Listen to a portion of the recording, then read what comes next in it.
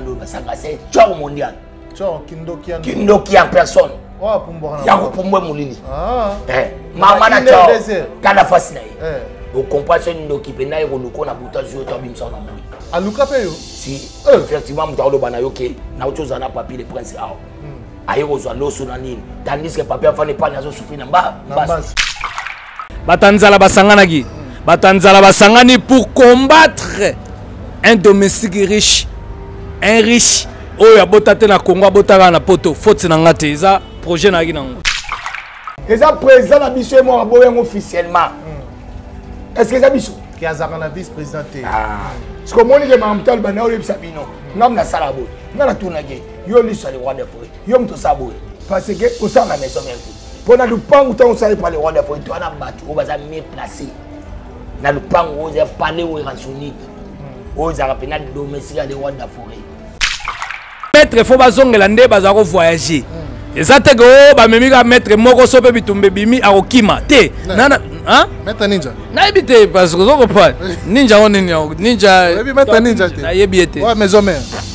nayebi ka torti ninja ninja kondo natika oza barrière pase nga na yo ozwi nga na moi te oke na butu eposo bavandai awa molangi oye motameli tandisika naza te guerre ya nga na sankara azoluka ata mokolo azwaka nga na bétise mpo apiblie aganye azwa ata ngai te atinda banino babenga nga siko nga na epana ye akanga ata foto te alakisi yo journaliste ya foto te papier akepana alakisa bino foto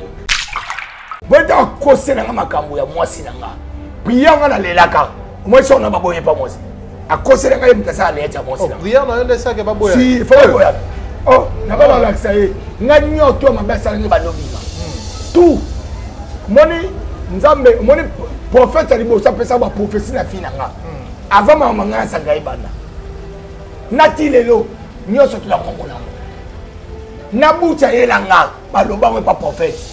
naba naloba na 2022 to na 2022 loba naloba na yo eh. zongo batokota na mosala bato bazo déjeuner pa wera balie pa wera bagoute pa wera balie biloko wera atikaki non non toza na besoin ndenge wana te kakol alela kolie pa wera e kakol ah. pardon papi le prince eh, eh, eh. so yesu oyo mosusu nkombo ekimaka nani eh. ventre basupu ya mampata do so oningisi basupu ezokwea piu moto ya liboso mpo tuna pape yenga santinel ya le roi d'afrique ye moto ayebi osanka asalaka awa basalaka awa te cuisinier oyo alambela le roi d'afrique oyo na didier mutu oyo amemaka le roi de fo na ka komine akin siko yo mutu ozali pa le roi de fo kuna bango bamoni yo te epuis yo moko oye koavoue okomaka na kati ya lupangu te parce que posi mpe ayaka kotala yo te sikoyo yo eloko nini obomba na ndako na yo bana ozela le roi de fo ayepa na yo so ozali na kisi mo obombaki soki werasoi le roi de fo ayepa na nga na tyeli ye mbama mpo na kangi okangi combien de fois ozombo eloni obomba et puis yo wana oyoloba est ce que le roi de france a camarade awa ataki sakanga wera akangi combien de fois okomani obana okangele ndeni combien de fois okanga moto soki ozobaka efo ya eloko nini yango yo obombi ya spécial ozozela wera aswana ya na ndako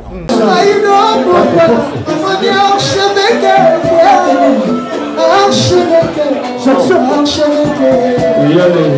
archevêque.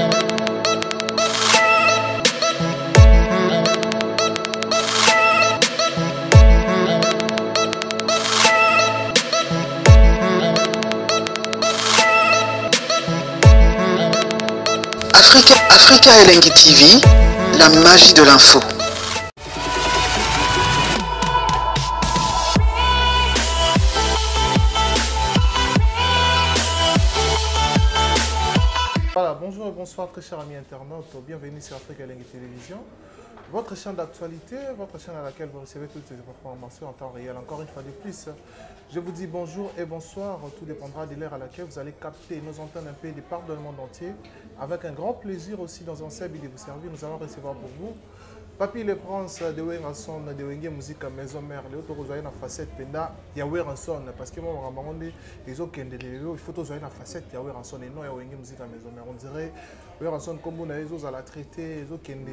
na bandenge moko boye ezali négatif tomeka mpe kosola na ye par rapport ya mambo ekoleka okati ya wenge musika maison mère alors tokopesa mpe bongo bansango essentiel nous le savons que werrason akendaki kose prédire kose produire na kani ya makasi esebi pai wapi toyebi bandeko oyo bazalaki bakulu na awa bakendaki kotika bango kuna mpona bazwa formation alors werrason na initiative ya malamu akizwaki mwa production moko kuna akende kobeta na kani ya makasi se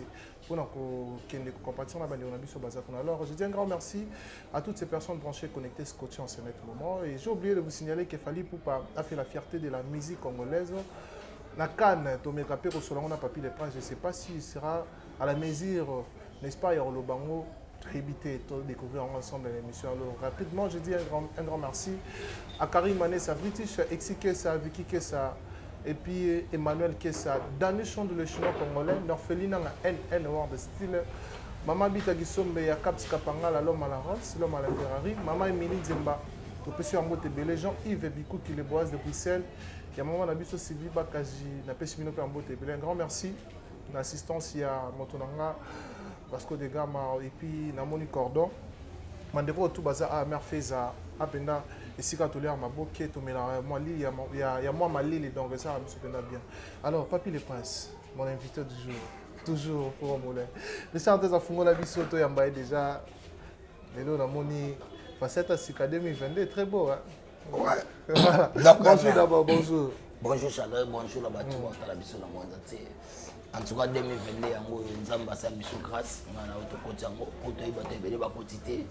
mpo mm. tofuti nzambe ata eloko te ata intere na biso topesi ye te na grâce na ye asalaki biso tokota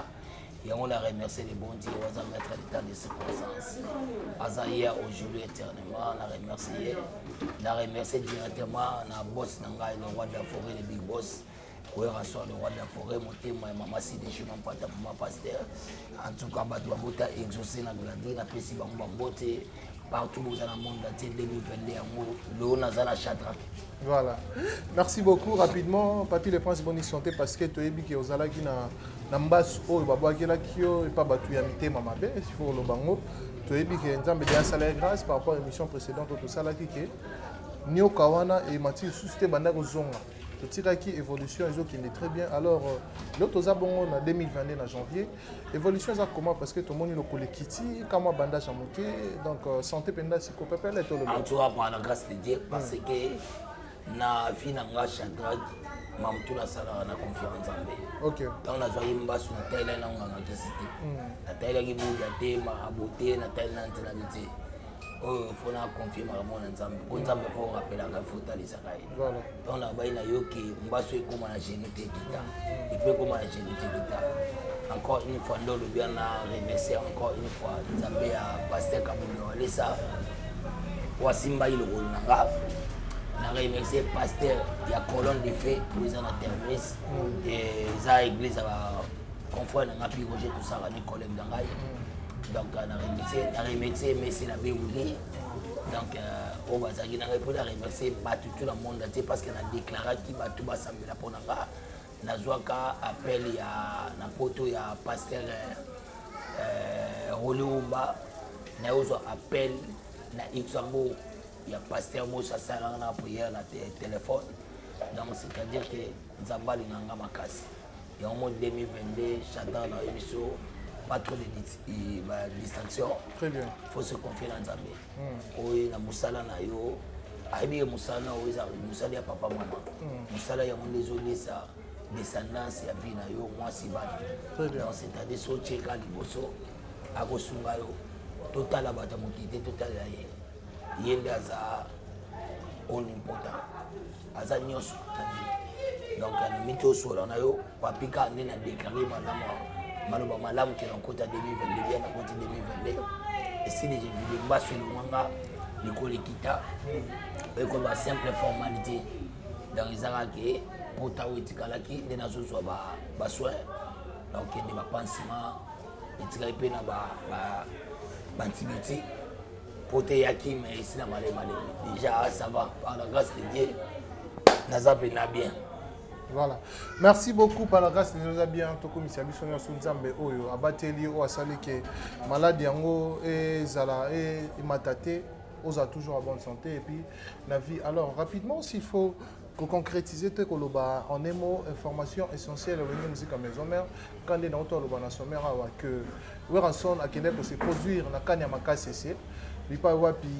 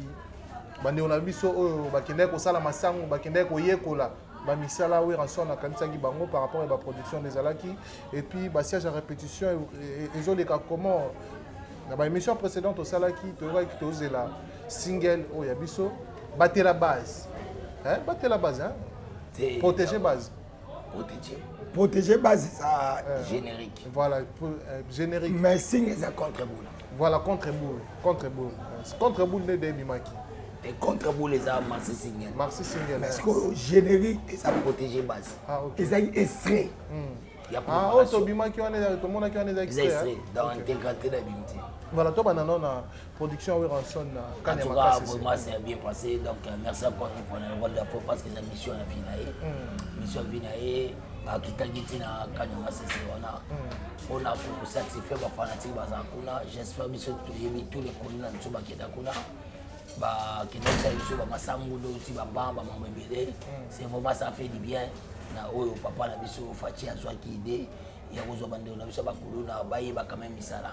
misala eza très important parce que lobi bakoya awa bazali soki bata bakuluna te bakokoma na besoin ya kosala oyo bauti zwa formation baoya kosala yango awa ekosala biso bien moi le roi daforet eza mpona lelo te eza mosala oyo nzambe apesa ye likambo mpe apesa ye yango omonaka le roi daforet ambassadeur de paix aza motu oyo atyaka kimia alingaka desordre te peme na ye la preuve en est nakoyesa bato oyo baoserapele il est le seul artiste musicien congolais oyo azwaka charge ya kobengisa tous les kuluna nao tuna na samba baya na bamachete otala yango bakulu na baye na bamasheti otikala le roi de la forêt sauf kaka ke mboka na biso bayini baza ebele projet wana le roi de la forêt akende yango mosika mais lelo masolo ya bakulu na tobeta yango te hmm. donc soki batikaki charge epa le roi de la forêt c'est pas dona n'importe quel ya cousin ke azwa charge mo ya koloba tous les kulu na naobenga bino na samba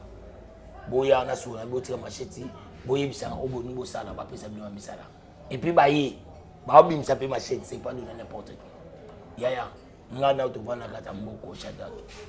ville morte na mboka desu bato babimaka te batya contener ya monene ekanga nzela na kingasani bato lelo yatu bavanda bandako ya sele rwanda foret akita ti na kati ya kisanga na kingasani abi oyo eza mboka na biso tokobomana ti bolongola bato batyaki bango balongoli yango aleka na te bayi bamama mapa et puis azongisa aye na problème ya colonel te aye na problème ya général te mais asalaki yango mpo na minute wana soki nga général colonel bosila na bana kingasa na suka mpo hmm. eh, batiaki pene yango hmm. mais temps de roi de fort ayaki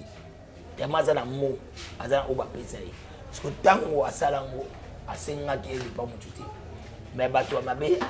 bamonaki kaka eloko moto azosala kopo eloko oyo nga nasolako na yo ntango nabengaka yo chadra tosala émission nayebisaka ona na besoin ya bolingo nga na besoin amour na miziki mpo soki amour eza toke liboso mais sibitima bato bayo kombatre nga na vision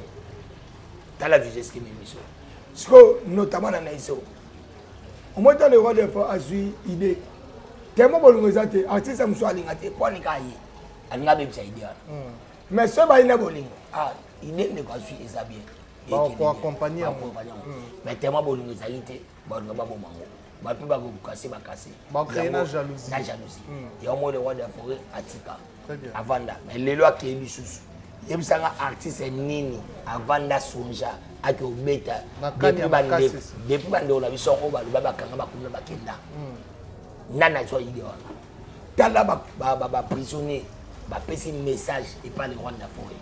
sompane baza bato hmm. message oyo bapesi le rwanda epa aboma yango te hmm. il faut aya nango apesa mokonzi ya mboka papa na biso papa chilombo félix fo ayeba yango mama na biso denise hmm. première dame fo ayeba yango aboma yango te bapesi ye message po atya na poche nete akopesa mama sidije mampata atya na poche nete akopesa lisusu na grandi bapesi ye message mpo aya kopesa awa akoya kopesa yango soki eh, gouvernement oyo eoza d'accord na le roi daforie bakopesa ye confiance etant que leader populaire oyo aza na yango bato bayokaka y aura changement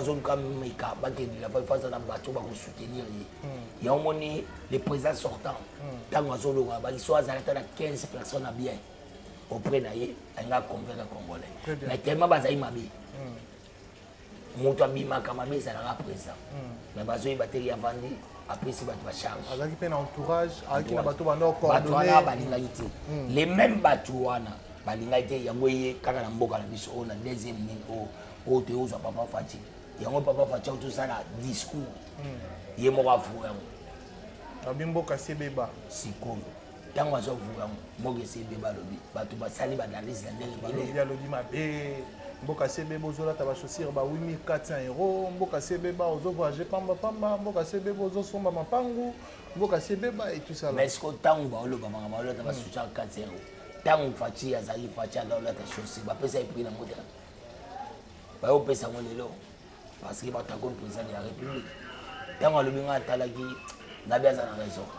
oyeba na raison papa kua azwi audace ya koyebisa peuple ne vérité aose aose quand même eza motu moko faut félicité atali na osala nyonso hmm. mais bato yango basoutenir nga te hmm. sikoyo nakokende kaka boye ti na suka bato bazosoutenir nga te peuple wana etala nga etala bango te ezoyebaka ke ngai nde mono aza mabe hmm. sikoyo nasani ntango osali nyonso otye motu place oyo ayoka ndoka mauvais service nasala boye aboyi nakomiso boye aboyi sikoyo bato bazomona te oyo ozosala bato bazotala nde yo kare basani se nayebisa bato yango ve verité alembi hmm. amoni ke nasali nyonso motema esuki ntango eh. motema esuki fosani vome basali ba biso omoni ndoki fosani belela sikoyo ye abelela te poabeleli ah, abeleli eh, abimboka ebeba mboka ebeba si eh, abeleli mpo asali nyonso hmm. bolingi kokopesa ya sincere te hmm. sikoyo boni olingi asala nini alobi na mboka si aloba hmm. nga mpo na nga aza quand même mobali hmm. mobali aozaka très bien boeskizeka mpo na grippe mpo hmm. na obela yango oyebi omoni babi na mamto na vie shadrack il faut oza mobali très bien il faut oyeba mpe koze moni nzambe car dieu atteint moi moi il a donné, il a donné son, son fils unique apesaki jésus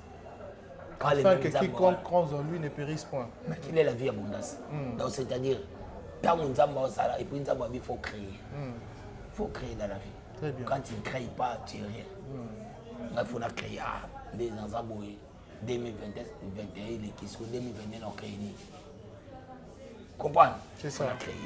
sikoyo ye moko papa pacatani nasali nyonso bato bazomona bato wana te bazomonaka nga bazojugeka nga 2022 mpe yango 2023 tokela baélection balobaka ke nasali eloko te bavote nga te fo na vrai nanga hmm. bali bayebake soki ngai bomona makambo eza nga te moko esebeba nango mpo ata bapesi motu place ekosimba te yango ekoma ntina moma moko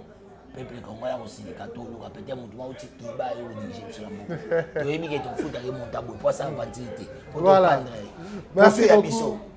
soki bazwika yo chadel hmm. bakomisi esika banobenga famille nao bandeko na yo bandeko mwasi na makambo nini badulia eh. obosaki batiaki yo mpo na pete baoya c'est-à-dire aza en tout cas félicitation papa faci wa mobali obalaka bongo fo oloba vérité voilà oloba te mpo enani merci beaucoup papi le prince tokota mpe na mwa likambo oyo ezoderange bana ya maison mare bafanatique tout ya maison mare oyo balingaka miziki ya kitoko oyo balingaka weranson oyo asepelisa bango oyo abinisa bango oyo asala fierté ya maison mare par rapport makambo oyo ezoleka na kati ya wangi muziki ya maison donc na kati ya enclos tolobela yango likambo ya 142 kunta na président na ye weranson osi na baagent ya wangi muziki ya maison mare na bino tolobela yango alors tomoni werrason na émission asalai na confrère na nga martin engi ke je sali apason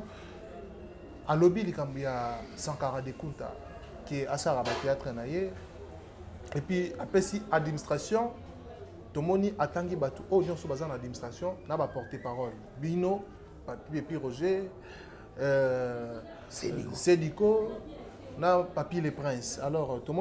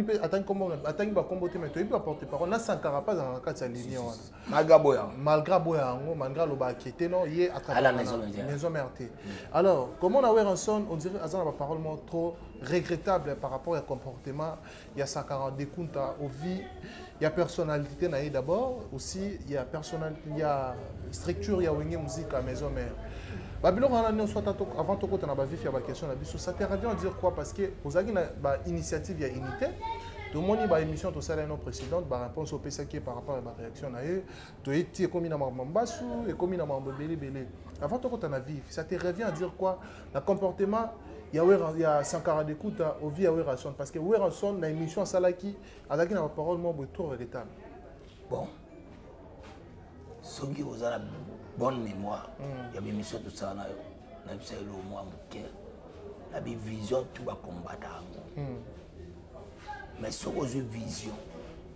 soki bando kombata yango père dotiki yango hmm. mais soki oza na elaka ekoma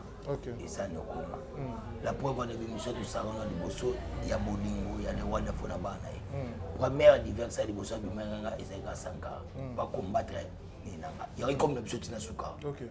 ebandaki na yo tosala no bimission mpona baki mpona vision ntango abanda kombata kotelema ezalaki vision ya kipa na nga nalingaki bolingo nakenda na nsuka omoni lelo na vie il faut oyeba oyo tozala lelo eza nango normal omoni mpo eza nanga na rwanda fo esaka mpe faire tout elobeleli oti mais tellement aza motu aoloba ayoka mpasi mpo ye moto asalaki sankara azala oyo aza lelo hmm. sikoyo soki otali bien sankara dekuta moto ayani na moyenge adesipoise adolphe bato bayebi tata mobici tata mobici hmm. moto ayana sankara dosimbele bilamba hmm. kopupola adolphe anda opupola ye kopupola ye boyi propre donc azali boyi ya adolphe adolphe ah.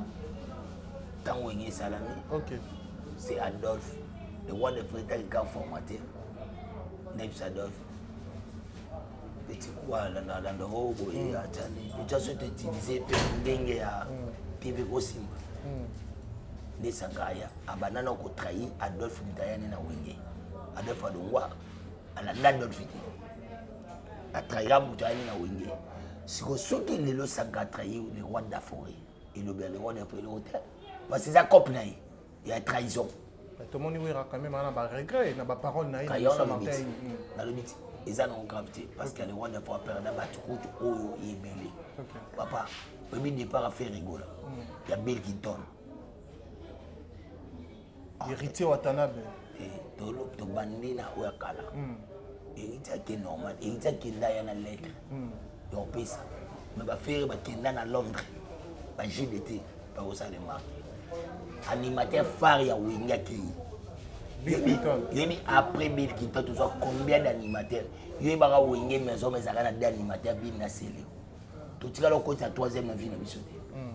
mais siko ntango babeli akei bela akei bela apeza akei oyo bayebaki afranchira le roi de la forêt hmm. oyo le roi de fois apesa batitre nyonso petit na nga bill kinton 10 ans de pouvoir balobela yango bill bayebi yango moto mosusu te akei fait richard de pour le roi de fois abenga satellite oyo oh, eraso le roi de fois abi fait richard de pour voilà komati ya gra grandi la voile digitale akei bana oyo le roi d'afrique abongi na bango akei hmm. mais le roi d'afrique to toye tozwa ba roi david tozwa ba brigade tozwa bakenekene tozwa bapeti na biso baprince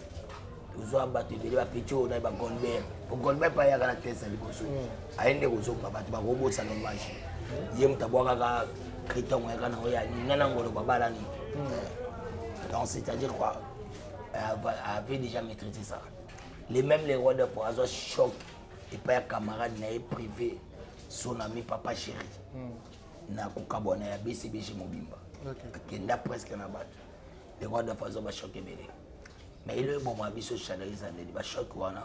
nde epesaka ba leader bakoma mpe na kanda ntango osala choc wana epesa ekanda ezongela bato batikali mais ezalaki yo parce que babi l'information est individuelle zompal sans casser fois moi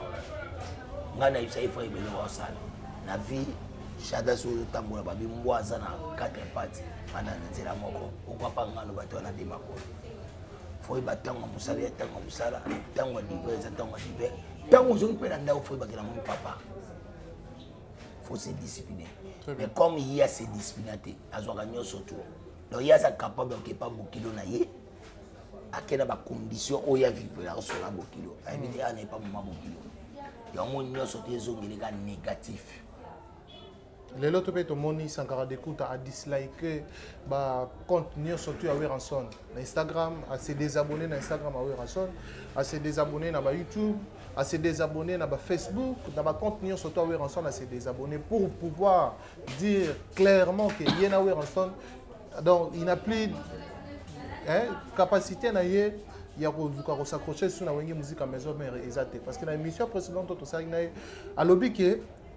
ye il ne peut plus jamais se focaliser na mambo oyo kaka ya wenge muzika maison mère lelo akomi na ye na badon humanitaire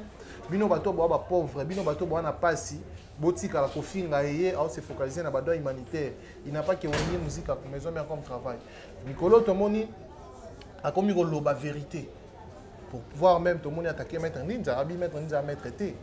abi maître oyo ozala soki bamoni bato babetaka ye kokima et tout sala babiloko wana nyonso tu oyo nyonso lelo sankara ko mobimisa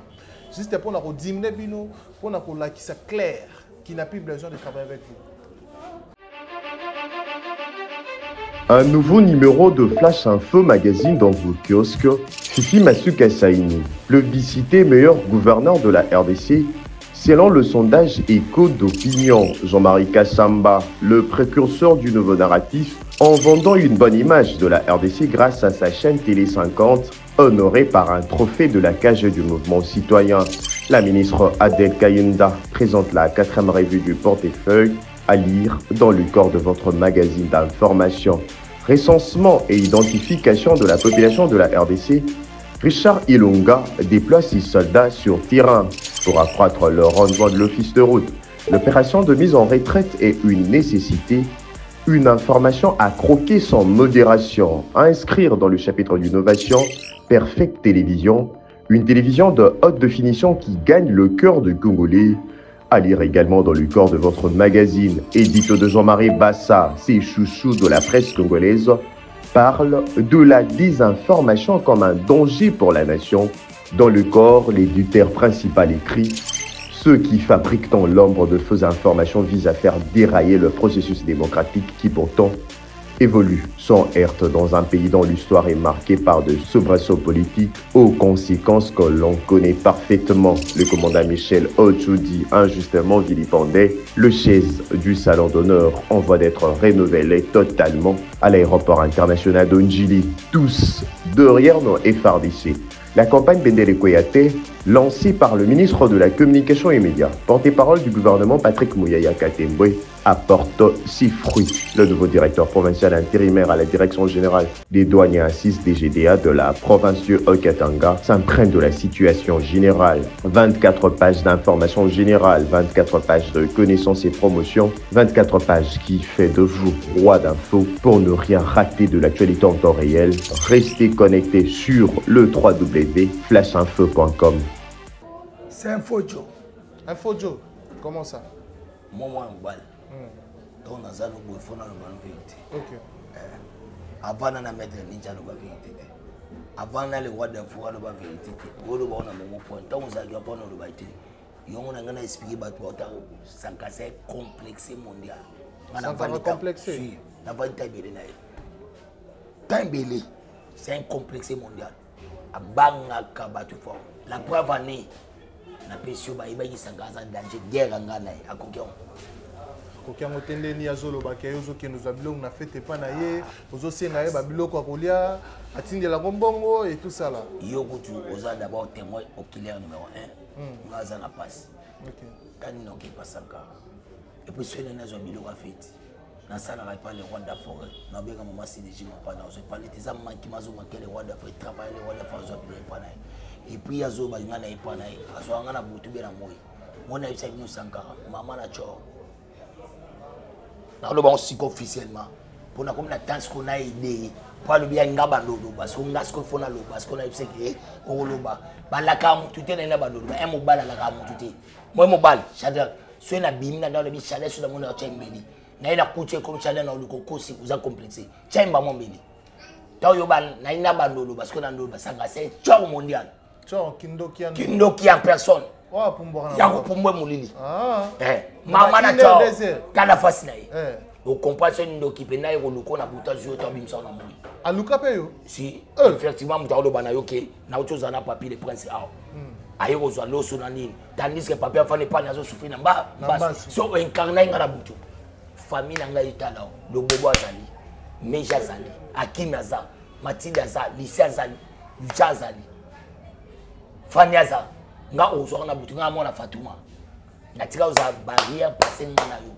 ozwi nga na moi te oke na butu eposo bavandai awa molangi oye motameli tandisika naza te guerre ya nga na sankara azoluka ata mokolo azwaka nga na bétise mpo apublie aganye azwa ata ngai te atinda banino babenga nga soko nga na epana akanga ata foto te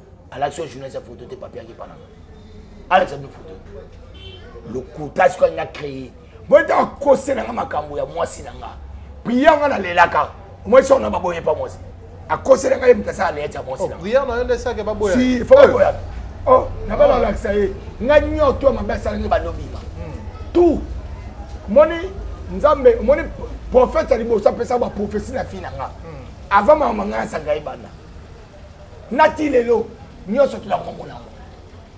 na buta yelanga baloba ngo epa prophète nabali naloba na 2022 to na 2022 loba lisola buti loba naloba na yo lisola buti yaya zela nano yaka mama ya kolia nano hmm. ebandi kobima nazalaka na yo te namonanaka na yo te tosololaka te bato baotala biso toza oh, baoyokana te mais yo ozokosa bato ye auti oye epa na nga azwi biloko wapi foto eza te natunaka yo ntango akosaka alobaki nini a olandi papile mpo ntango asisa emission abenga nga bio te moto na ngai na problème ya ndako na esa alakisa bino appel na nga bozwango natindela ese sie certainement yo oleki nga yo oza liso yango ekota lupanga oyo ekosala video bomona video aza vanti suka nango leader alobi nini bakomedi asalaka moto yango oyoka yango te moto yango oyoka yango te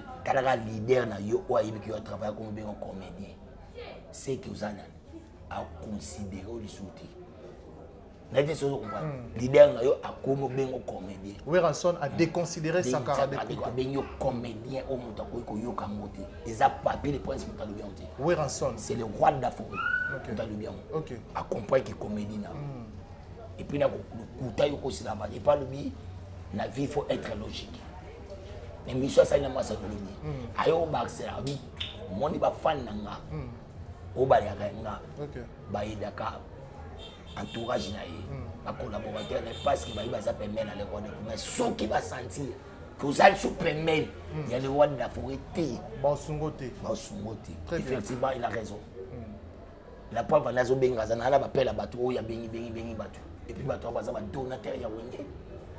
estce botuna asui déjà rapport ye moto ambongo bapelo abengi bato so na ndotangi ya bato oyo oh, tino na miele tio bakopesa ye nini te mais yaobi aza domestique riche yaobi aza riche asomtinda basi na poto wana mituka na mapango asalaka badon humanitaire ina mpe besoin soki ya okende olele epa motu nini etusala kontina basi na poto basi yango to baboyi na kaka na kontina na poto nga ntina mwasi na poto te mateme na ndunda tolia te nakabela mwasi ata velo te ata moto te me bolingo na biso ya bien soki yo moto osali nyonso to wana randima na yo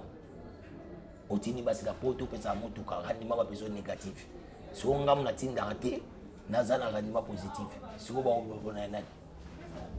na pose yo question sikoyebisaka esatan eh, yo bayebisi yo te ngai naleki yo nasala na site ya monene biso tosalaka botoki na bapoto ba c'est bon merci nga chandal nasalaka na site ya mike lokamba hmm. naki chandal na nga mais bazopesa nga considération sikoyo yo na moto aoyebi so mama poto nani azalaka bien moto azoza aconsidere aconsidere hmm. siko yo baconsidere mpa basi te eloko na esalaka basi wana ozoganga hmm, otya mbanga likolo babenga baboyaka yo hmm. epuis mwasi wa 4 mwasi akuti koboya alindi adi aza mwasi ya liboso te abanda da yango na bengana ye kuna ti ye ayisa aza mpasi bapesa ye 100 metre akenda na bamida akenda na babasi to baboya ye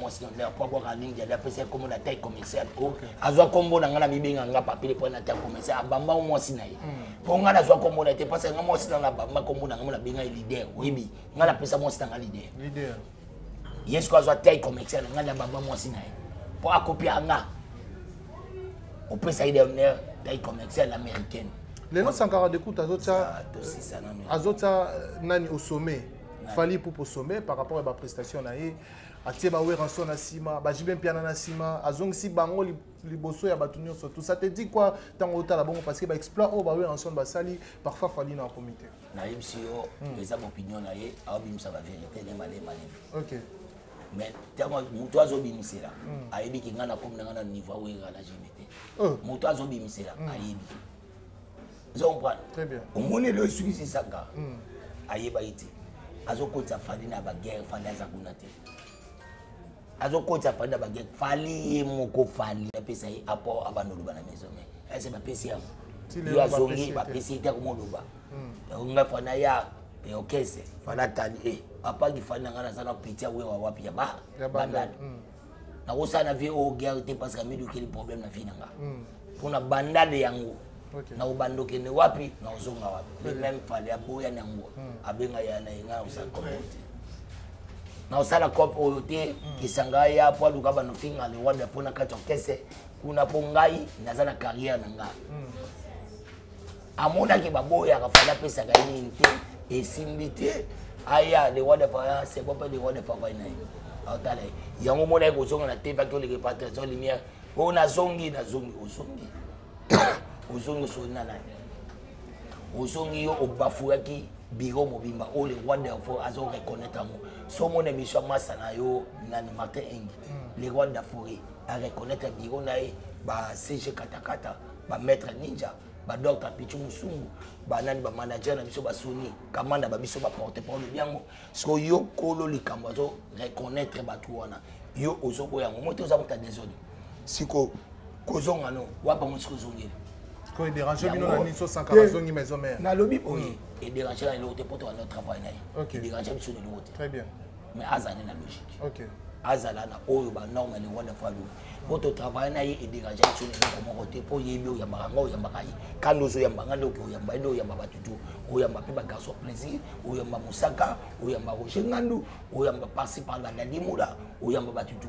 zongwana mpo nga nakopekisa oyamba motu te quand même tala travail normal hmm. mais travail fo eza toyebake à chaque biso ya son temps hmm. ntango ya travail eza ntango ya travail ntango ya misima eza ntango ya misima na fimute fo ata mwana tutwa hmm. kozonga na ye ye moto ayebisaki bino aye koyebisa bino ya vice président mpo eza boyango hmm. ozokosa bato bajournaliste sikoyo na minute oyo hmm. ndenge akosaki yo ke hmm. a vice président yo mo olandi le rwanda fo abi eza lokuta soan sikoyo soki okesi emission epa na ye arapele soki nga vice président oyese toza lokuta oyo ekaboyaki yango ata dide kofa yebi yango ata josé molato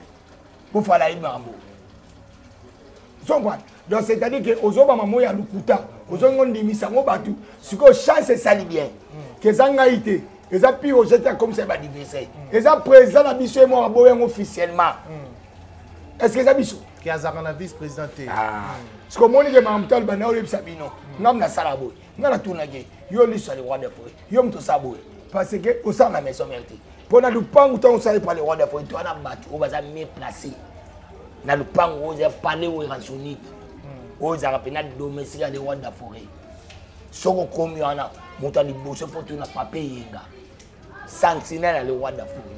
ye moto ayebi sosanka asalaka awa basala awa te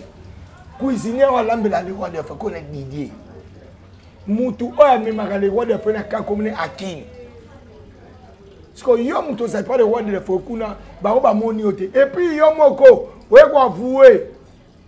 okomaka na kati ya lupangu te parce que posi mpe ayaka kotala yo te bolanda kosa bino eza ya kotala yo ya lokoyo mosaka obe akoje nga loba o papa chira yo otala nga te kata oyo sisi olobaka na papa chira azwi tepo abengi richarge richard oyebisa tisenge namona ta elongo akoje nga obe mosalisa te sikoyo yo eloko nini obomba na ndako na yo bana ozela le roi de foyer epa na yo so ozali na kisi mo obombaki soki werasoi le roi de foyer epa na nga natyeli ye mbama mpo nakangi okangi combien de fois ozo comprendre lelo nde obomba et puis yo wana oyoba est ce que le roi de france acamarade awa ataki sakanga wera akangi eh. combien de fois okomani eh. obanda okangele nde eh. combien de fois okanga mwa soki yo ozobaka efa ya eloko nini yango yo obombi ya spécial ozozela wera aswana ya na ndako hmm. yoko moto yango ozozela ya ndako na yo ozala na mwasi te mwasi esi akenda moto président mpo oyambe na ndako fo mwasi azala mpo na oyamba le roi de foki fo moto aservir ezana mwasi yo na mwasi te soki ozozela ye mpo yaya ayo sana ozomanke yango officiellement epuis yo mpo osenga koya yo olobi ke ozalisa werrason kosenga koya nayo na ndako fo ya oloba ngo na tv jamais est ce que un papa oyo ayebi mwana oyo ayebi patron na ye bana basecret likambo oyo boye il faut ya oloba wana te te yo obengi ngambo ya babombe omoni raisonnement bombe nzambe na yebisaki omamutao nalobi epanange balusuka epanange tout sans exception sikoyo ye nde bombe ya makasi mpo nga na vi na nga bato bavanda mela adiamba te ntamela adiamba hmm. sikoyo omoni raisonnement wana eyaka kaka na kwiti na nganda to banomela diamba bona babombe oyende baba boyi bovoyage totonga baimeuble totonga te totonga sa de marché ekoma ya ngai ekoma ya ngai palais du peuple ekoma ya ngai eh, bovoyage bonomela wa so raisonnement bombe wana te bovoyageaka nde ya kolobi soki le roi dafo aya kotala na ndako mpo mm. raisonnement wana ata na ndoto nga nakozwa ngo te ni piroge mm. ni mosaka mm. ni roger ngano ya koloba na leader nga raisonnement ekozwaka te mpo moto azwa raisonnement bongo il faut sika moto amela bombe eh, eza makima mo bazwa yango kaka kota diamba mwesi ko moto akosaka bino nga eh. nzoka eza ye nzambe alakisi ko bombe esakaka ah. diamba ye eh. yaya ngai ngameka mesaka diamba na kafe miziki Eh. nazwa ye na gene mpe ameka ah, usikoyo na genie akenda na ndenge ya shisha eh. batie diamba batie eh. bake batie bawuski ya makasi sikoyo avandi na ndenge ya shisha wasiko ngai yo yebi kake mm. nabeti tu mwa libanda natya crédit mm. naye na comprendre ke decor ya mai oyo eza ya se wana eza ya changement de fréquence ya banda obeta ntango obeta ye azwa eh. na nzete baajo baaji na nga te eh. comprendre hmm. nabimi nake osisoulage na ye topande naobai mwa eloko na nga papapa baobeta namoni na bato baningani bana bana bakomi kosekaseka to omoni biso ekuse ye ekomisa bato mwa bilongo mwa ekomi mwa ba hmm. eh, lokola ntango natali na bia kama moko asinga ye atyaka na badiamba namesanga diamba mpo lobaba omela ye diamba tala wa mutande so mbwa aye bolie musuni loba so oyebi eloko aliaki wana ezalaki mbwa comprendre natimbelaki donc c'est-à-dire omoni résumé ya bombe yango soki otanga sisi komela babombe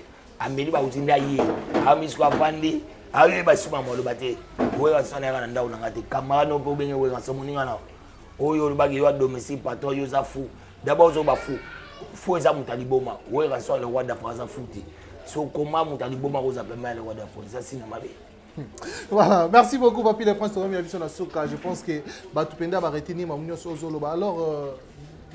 so tolingi toloba na enclos to mpe na koconclure pour clore bato baretenir nini na passage na yo compte teni ya mabotu ezoleka ovi ya personnalité ya weranson aussi ya wenge musika maison mare par rapport ya sankara de kunta te barekeli le roi de france aka fanatique ya le roi de france ayebiki le roi de france ya weranson hmm. sangasana rien avoir azoluka babesi pazo mwana azali suna ngema te mm. donc opola omoni mwana sososo apoli mbula nde akomaka mm. eh, le wada pago aza na bakalki na ye te ya koresone ma mosanga azoloba mpo moto ayebi kie sankara mm. sankara kozala ye se werason moto afasone ye so amibenga lelo para français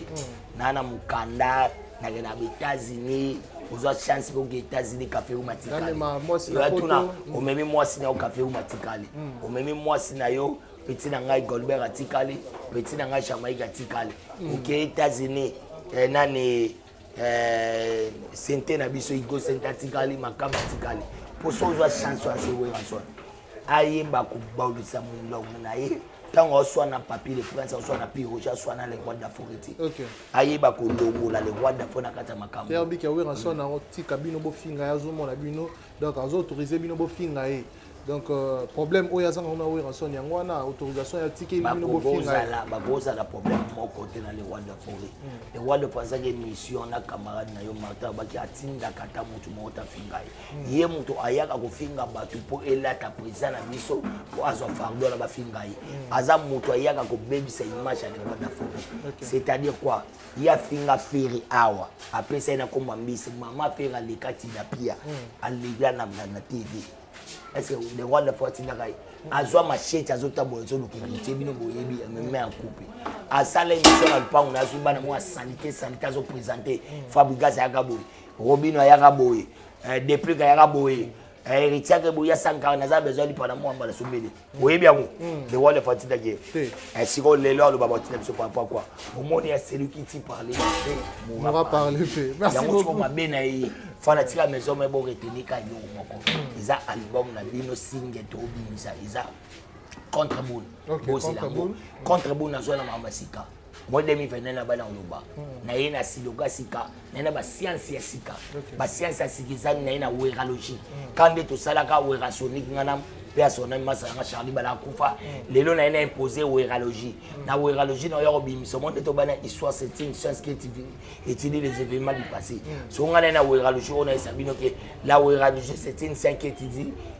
les événements réels mm. oyo le roi de power losala ezaka réel mm. c'est yo so osali succès na yo obiki jeti mpe di werason mm. parce que oyo to osala esi werason asala yango oza na eloko osala ya koleka le roi d'afriki te et puis na basi mibali mpo na bino mm. oza na nduta wana masque de veille ozwaka libala te makambo nyonso tu mabe face ezalaka mabe mm. c'est à dire tozwa kobimisa game moko babenga wana nkombo ya weraderme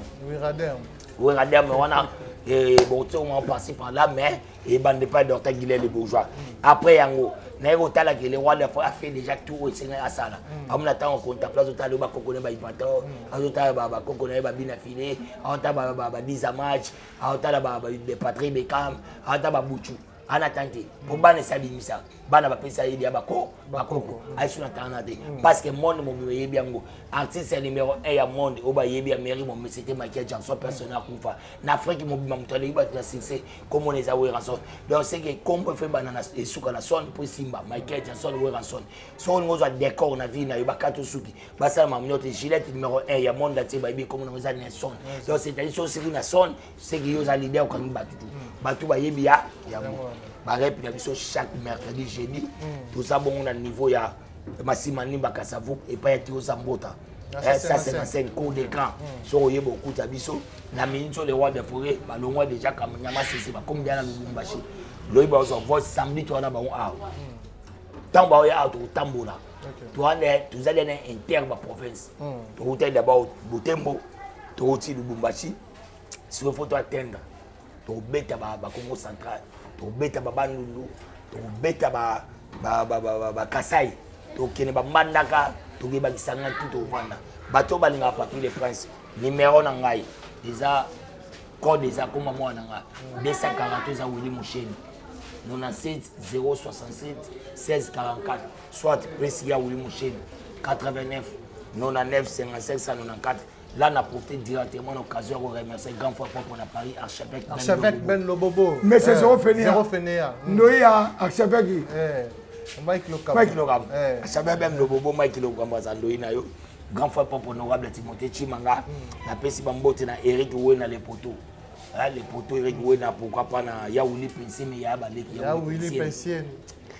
napesi bambote na représentant voilà bapanneau solaire na congo md 2019 iso etuku pourquoi pas na mp 12 trop du jour napesi bambote na bruno libika mbonga propre napesi bambonga propre mm. ya leon mondele mfumu ya japon champion wadol ya garin kombo ya ulio pelela mtetelo japon na kati ya diblin na remercie ya roger mvumbi damili ya toko argent pure pourquoi pas na darli mongo manager brésilien napesi bambote na coach ngiama na sidaf Coach Ngama kangela nga batu wana boyi bakobima te Nico Nico Mundadi yego yego weba zalaka me Nico Mundadi eh, Freddy Ngoma le couturier eh, napesi bambote na futur beaucoup mesa ya commune ya Kin ye moko maître is maître Bouze maître Bouze mm. eh, Raphaël Bonzembo napesi yo bambote to napesi bambote na président Mbila Nkulu le formidable président Mbila Nkulu président mbila ya kolo président mbila ya kolo pourquoi pas na fatu boa vida eh? fatu boa vida yebisa mama moni mablo na moni ka papi le prince aza yebisa patu se mabwaka toza na kati totala makambo napesi bambote na le président le plus célèbre de la du monde entier président donali ntango namona président dona namoni ben mukasha monembola namoni gimalela shikito bango alain mola paris 16e namoni mbala moko ye moko sene mfumu namoni basipi mwela ya na canada na mboka grand frère ya balewa pour l'aîné de la famille ye moko ya jonas mbese aza kuta kuna napesi bambote makasi na le millionnaire de millionnaire na kati ya maroc bondo bamanisa le millionnaire hmm. aza kote kuna naye kopesa esu bambote na bana na ngai fatu princila ebonga euh, na ben mosheni na bato oyo nayebi te mpo naye koremercier euh, moto asalaka epapi le prince alia maboka kitoko alia mpena kitoko mama feza alafu référence na ngai eza na kato 147 wana mare na ngai eh, mare na yo hmm. donc esika na mpena mama feza alafu mama oyo abota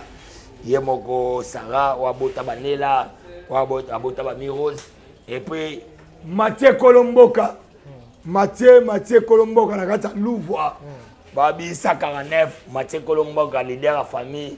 napesi ye bambote makasi wana mpena bureau privé donc soki ngai nalobi ye soki azwi ka ordre ayoka lisusu mutu te merci beaucoup papi le prince tokomi na biso masa nanga pioge mwana mboka zala calme voilà nayebisaki bato avant de savoir voler faut savoir se tenir debout hmm. mais avoir des ailes ce n'est pas suffisant c'est pas moi c'est dimichi nganga ta mpe soki lata mpe so mibeko hmm. tosala engati ya bakongole te okoki balamba soso baluka kirida na mikoki koma ndunda bamwasala lemo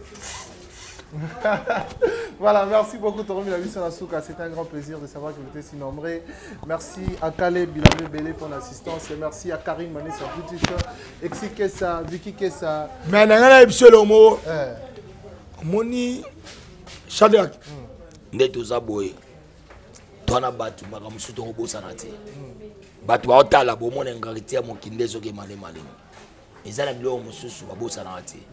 ma eza mpe na bitinda mosusu okei ozongi mm. mosusu okokende ozonga te wana eloba mon ami personnel mm. aza na 001 na kati états-unis mm. masa na nga peri mosengo peri mosengo grand frère propre ya petit frère na biso oyo aza patron na états-unis c'est ken mosengo ken mosengo epuis petit na nga moko abanda osala na masano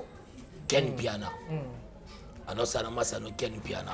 oyebi ye pito pale pito pale ye pa na états-unis mm. pito pale omoni shadrack Voilà. Merci beaucoup. Merci à Karine Manessa, British. mère ya bato ya mignon mère oyo mpenza azwa mignon akomisi ye mwana na ye en tout cas merci beaucoup mère mama emili nzemba ya tous pepele ya mbetolo na mpesi ya mbote ebele exikesa Vicky Kessa, Danny Chandou, le chinois congolais, Norfeli Nanga, NN World Style. Merci beaucoup à Jean-Yves Moukikou, le boise de Bruxelles. Un grand merci à toutes ces personnes qui nous ont suivis. Quant à moi,